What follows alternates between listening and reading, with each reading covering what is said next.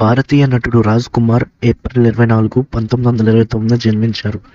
కన్నడ కంఠీరవుడు రాజ్ కుమార్గా పేరు పొందిన డాక్టర్ సింగనల్లూరు పుట్టస్వామయ్య ముత్తురాజ్ కన్నడ చలనచిత్ర నటుడు దాదాసాహెబ్ ఫాల్కే అవార్డు గ్రహీత.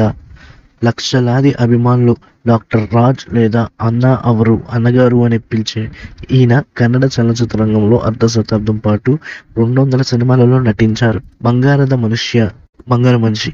కస్తూరి నివాస్ గంధద గుడి జీవన చైత్ర. ఈయన నటించిన కొన్ని మరుపురాని చిత్రాలు. మొదట శ్రీ పిబి శ్రీనివాస్ పాడిన తన పాటలు తానే పాడుకున్న రాజ్ కుమార్ సంగీత స్రష్ట పొందిన గాయకుడు.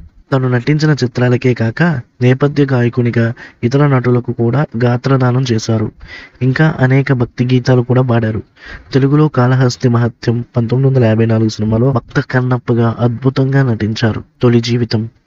రాజ్ కుమార్ పంతొమ్మిది వందల ఇరవై తొమ్మిది ఏప్రిల్ ఇరవై నాలుగున అప్పటి మైసూరు రాజ్యంలోను గాజనూర్ గాజనూరులో కన్నడ కుటుంబంలో జన్మించారు. ఈ గ్రామం ఇప్పుడు తమిళనాడులో ఈరోడ్ జిల్లాలో కర్ణాటక సరిహద్దు వెంట ఉంది. ఈయన మాతృభాష కన్నడ. ఈ పెద్ద కొడుకైన రాజ్ కుమార్కు ముత్తత్తి రాయుని హనుమంతుడు పేరు మీద ముత్తురాజు అని పేరు పెట్టుకున్నారు. ఈయనకు పంతొమ్మిది వందల తొంభై రెండు కర్ణాటక రత్న బిరుదు వచ్చింది. రాజ్ కుమార్ అపహరణ.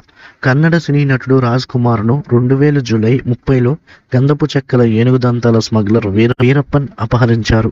రెండు వేల జూలై ముప్పై తేదీన గజనూర్ తమిళనాడులో రాజ్ కుమార్ ఫామ్ హౌస్ పై వీరప్పన్ అనుచరులు చేసిన సాయుధ దాడిలో రాజ్ కుమార్ను అపహరించారు. నూట ఎనిమిది రోజుల పాటు వీరప్పన్ అపహరణలో ఉన్న రాజ్ కుమార్ రెండు వేల నవంబర్ పదిహేనులో విడుదలయ్యారు.